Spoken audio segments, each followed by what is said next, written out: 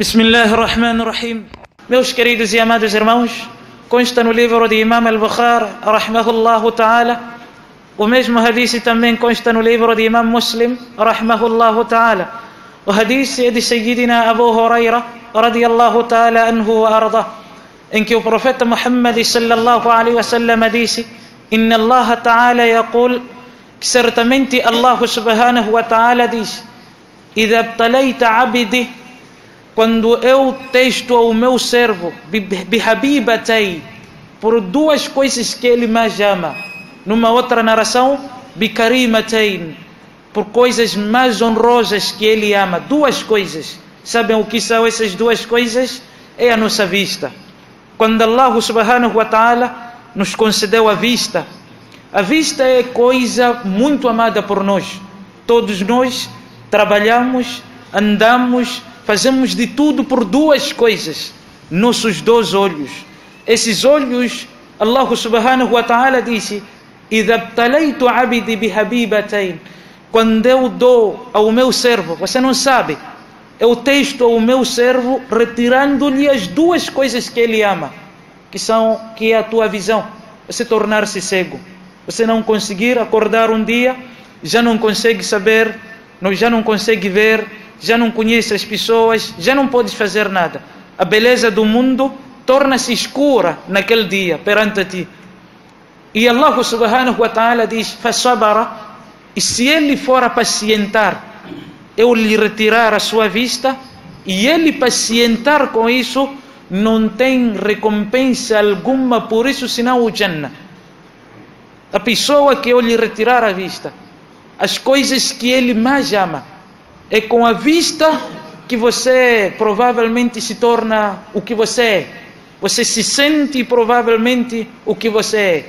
É a coisa que mais você confia. É a coisa que mais você tem de, mashallah, de valor. Coisas que você mais ama. E Allah subhanahu wa ta'ala neste hadith, para todos os muçulmanos, manterem a humildade por duas coisas. Allah subhanahu wa ta'ala falou nos no Sagrado Alcorão ayam. saibam que esses vossos dias que vocês vivem, no Dawilu nas, são alternados. Você tem um dia para ti, um dia contra ti. O homem que sabe que hoje eu ganhei, deve saber que amanhã eu posso perder. O homem que sabe que hoje eu estou saudável, deve saber que amanhã eu posso não estar saudável.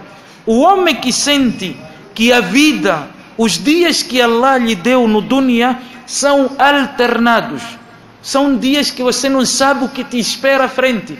É importante você manter-se embaixo, humilde, porque amanhã você não sabe quem vai te direcionar o caminho. No dia em que você tropeçar, no dia em que você cair, não poder conhecer o caminho, você não sabe quem há de pegar a tua mão, te direcionar onde você quer.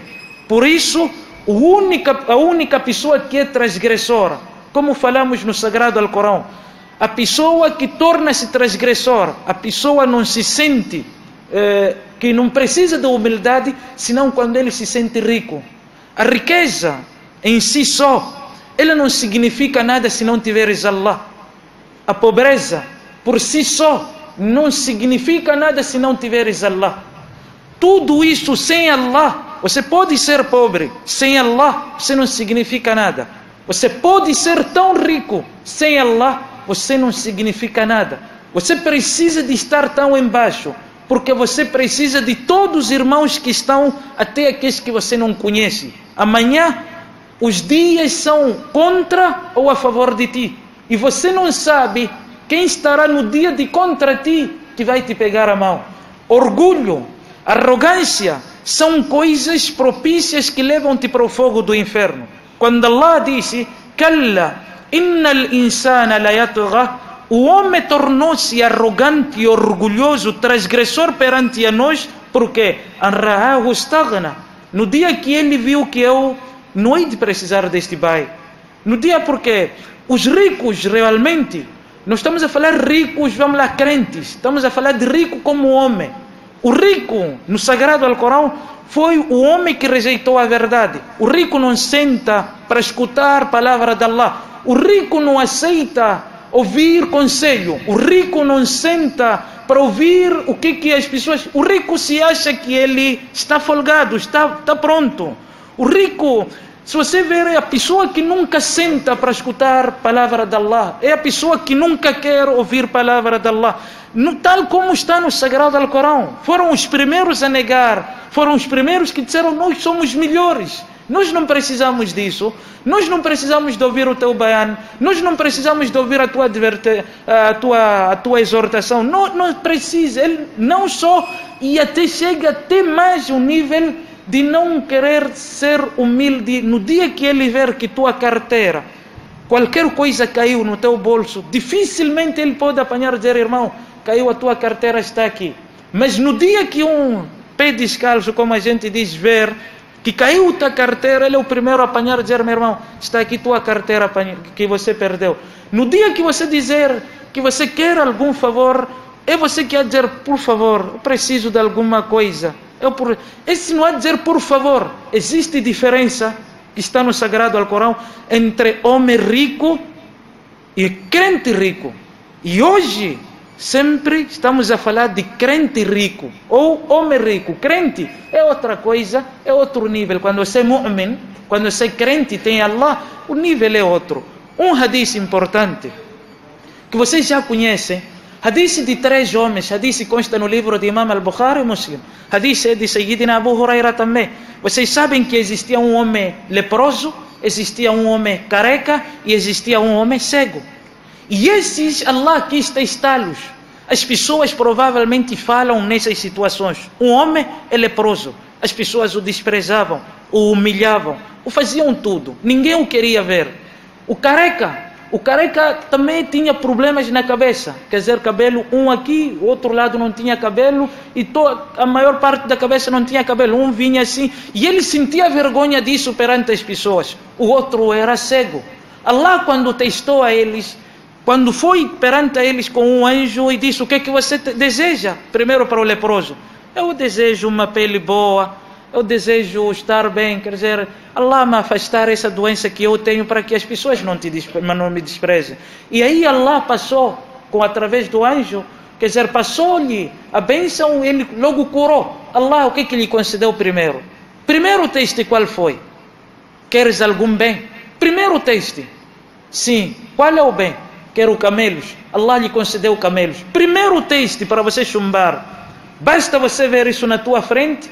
Primeira coisa, por isso o Sayyidina Umar, Umar ibn al-Khattab, quando via riqueza, sabe qual é, qual é o doá que ele fazia? Doa que Umar fazia.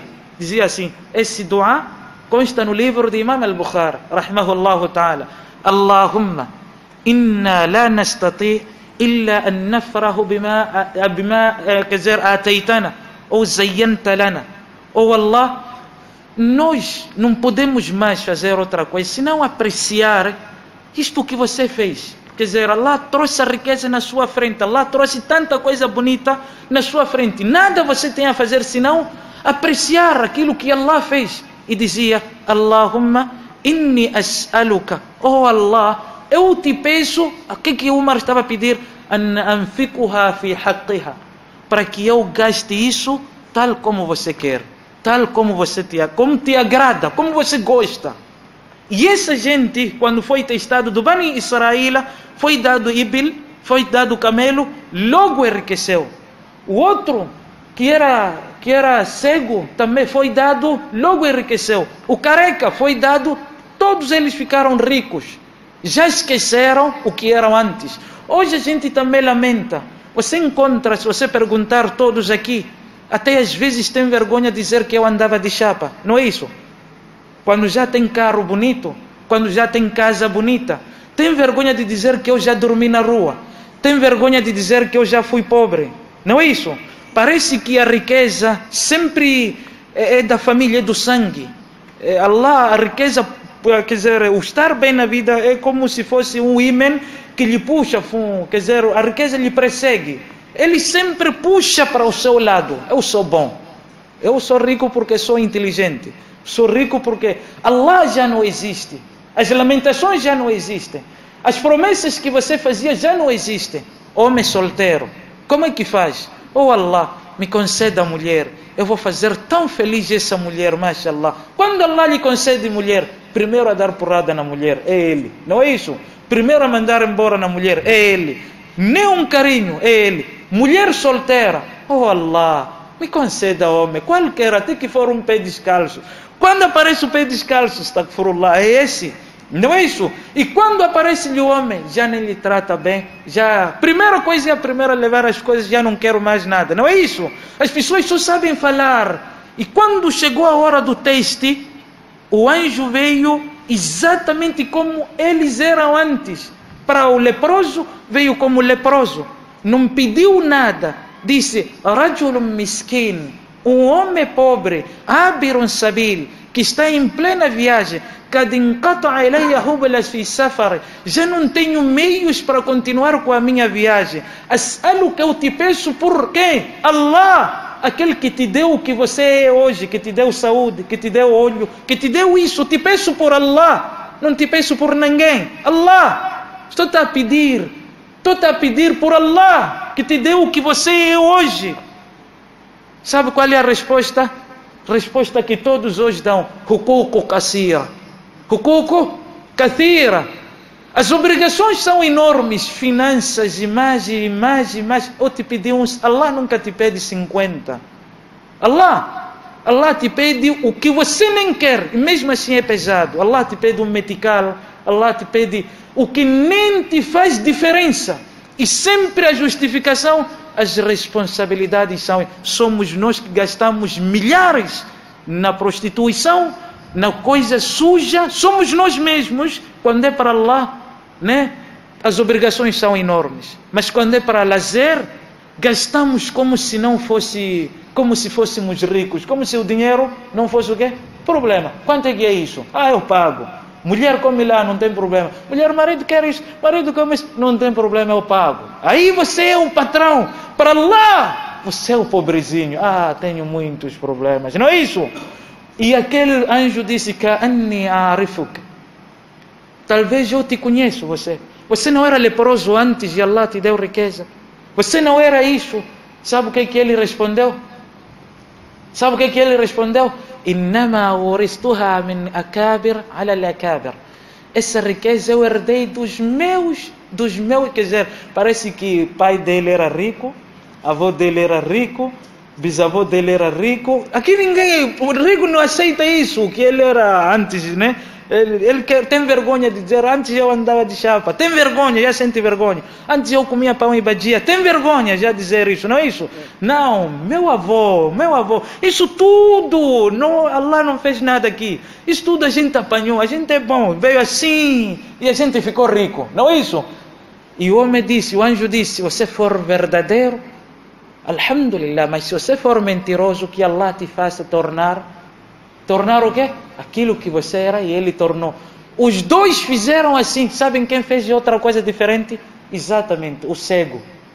Quando foi no cego, às vezes cegueira, quando foi no cego, ele perguntou, quando ele disse, eu sou viajante pobre, ele disse, Wallahi, eu era tão cego como você.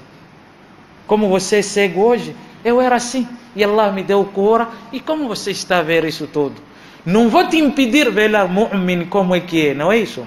Para Allah, mu'min não tem nada. Ele disse: O que você desejar aqui dentro, não existe ninguém que vai te impedir para a tua viagem. O que você quiser, leva e vai. Não é isso? E o homem disse: Não, não viemos levar nada. Só quero pedir a Allah te abençoar com a sua riqueza. Allah te abençoe, os teus outros companheiros, todos eles chumbaram. Por isso que nós temos que fazer dua antes do teste chegar para nós. Fazer o quê? Dua. Oh Allah, me conceda firmeza na hora do teste. Oh Allah, me conceda o quê? Firmeza na hora do teste, para que eu não não chumbe. E saiba que os teus dias são o quê? São o quê? Alternados. Hoje é uma coisa, amanhã é outra coisa. E esse amanhã você não sabe. Então, fica calmo hoje, não se porque você está assim, não pensa que isso vai terminar assim. Isso é como acaba, não é como isso é como acaba, não é como isso é como acaba, não é como Então, como todos nós vamos terminar, ninguém sabe. Wassalamu alaikum.